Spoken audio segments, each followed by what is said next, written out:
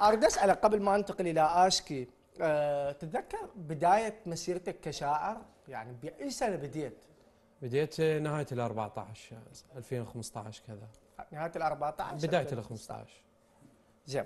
أه لمن كنت تحب تقرأ؟ يعني أكيد أكو فد شاعر خلاك تقرأ وتحب المجال الشعر بطريقة كبيرة. من هذا الشاعر؟ التأثر ما كان فقط بشاعر واحد. بالتالي آه، صار مزيج من آه، قصائد جميلة لأن التاثر برأيي بشاعر واحد راح تكون نسخة مشابهة له ف يعني الصراحة ما ما راح تكون لك مقبولية عند الناس.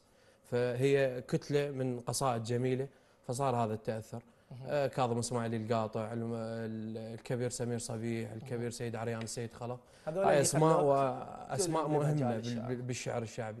فماكو شاعر شعبي ما مر بهاي المحطات الثلاث. اذا آه، نقطة لعلاوي وبداية حلوة موفقة. أنت الحلو بجاسم يا حبيبي.